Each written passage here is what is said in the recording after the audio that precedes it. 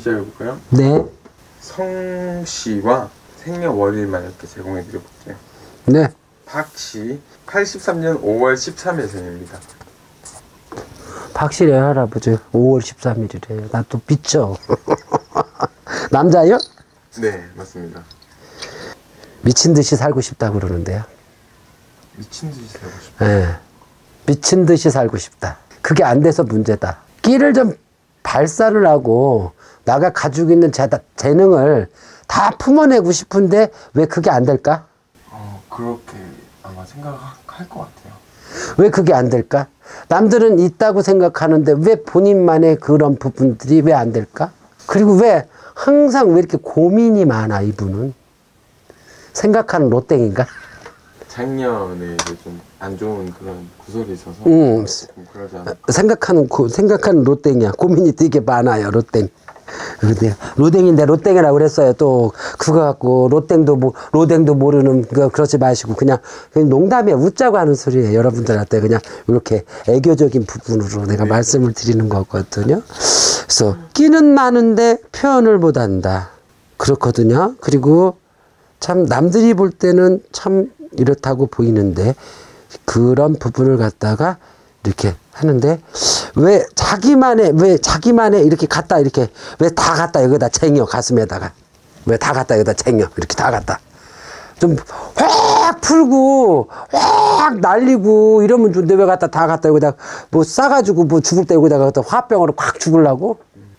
되게 고지식한 분이에요 분 근데 고지식하면 뭐 고지식하다고 해서 남이 알아주는 건 아니잖아요. 끼가 많고 끼쟁이를 먹고 살아야 되는데 그 끼가 분출되지 않으면은 먹고 살기 힘든데 그 끼를 확 발산을 하셔야 돼. 이렇게 많은 끼를 갖고 있고 다재다능하고 그다음에 말도 잘하고 어떻든 그런 부분들도 지혜롭게 살 수 있는 사주인데 그걸 다 발, 발사를 못 하고 살면 본인 바보지. 본인이 웍 하고 터트려야지. 아, 우크라이나, 저기, 저기, 푸틴이 갖다 폭탄 터트리지. 터트리세요. 김정은이 포탄 쏘지, 쏘고, 아니면 기고, 기면 말고. 이러고 사셔야지. 박실해요, 할아버지. 누구요? 제가 하고 싶은 말은 그거요. 숨기지 말고 발산해라. 누구요? 가수 영탁 씨입니다. 영탁 씨. 네. 끼는 발산을 다 하는데 왜? 다 하잖아. 그 논란으로 인해 가지고 조금 약간 그런 모습인 것 같아요. 움츠려져 있어요. 네. 아주 작년, 작년, 재작년에 아주 죽으론이지. 네. 근데 여기는 뭐, 어떻든지 간에, 어떻든 뭐 이분은 끼쟁이에요, 끼쟁이. 아주 끼가.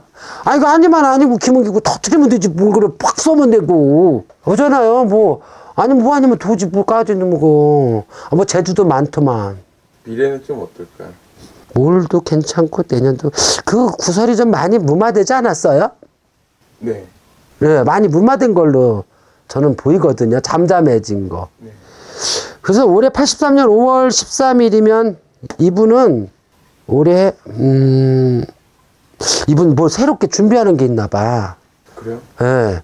뭐뭐 이 가수 영탁 씨지요. 하지만은 뭐를 새롭게 준비해서 움직여 준다 이러는데 돈이 좀 많이 들어가지만 돈이 좀 많이 나올 것 같아요. 나는 이분한테 말하고 싶은 거는 본인의 그 잠재적인 있는 끼, 미친 끼를 발산했으면 좋겠어요, 이분은요. 근데 얼굴이 안 됐더라고. 내가 좋아하시는 분이 한 분이거든. 근데 되게 얼굴이 안 됐어. 작년에 올해 초반기 얼굴 봤을 땐 되게 얼굴이 좀 수척해지셨고, 많이 좀, 그, 그니까 눈 밑에 다크서클이 좀 장렬하게 좀 있으시더라고요.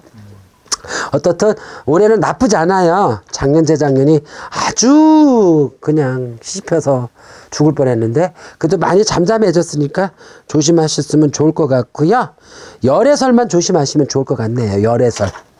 열애설로 인해서 인간으로 인해서 또 구설이 한번 또 나라 이 소리가 나오니까 신중하게 여자를 만나셔도 신중하게 사귀었으면 좋으시리라 생각됩니다. 나는 말, 결혼 말 언제 할까요, 영탁 씨? 결혼이야? 3년. 3년에 어, 올 내년 내후년에. 빠르면 내년이고 늦으면 내후년이에요. 선생님 그렇게 점을 보시면은 그렇게 되던가요, 대부분? 뭐 그렇게 되더라고요. 저희 집에 오시는 분들 이렇게 하면은 뭐 그렇게 되더라고요. 근데 이게, 이게 프로필상에 다 주잖아요. 네. 그리고 영탁 씨 어머님도 우리 같은 길을 가고 계시잖아요. 뭐 좀 잘 빌어주시겠어.